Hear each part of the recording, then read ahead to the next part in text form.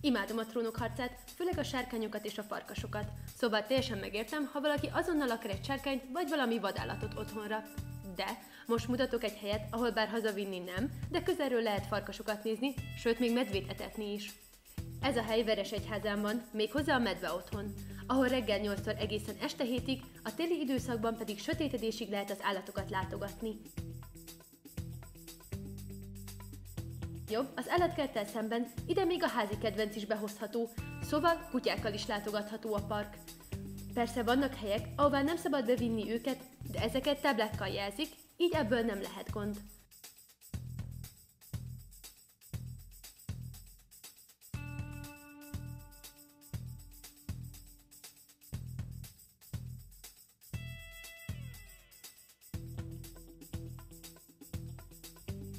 Van medve, farkas, láma, kecske, teknős, sőt még mosómedve is.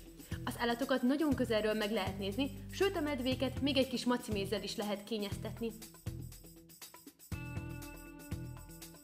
Val, ha valami jó kis állatos programra vágytok, akkor a park tökéletes választás a hétvégére.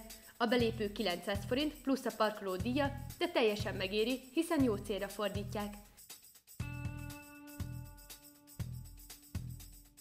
Ez a hely négy mancsból négyes.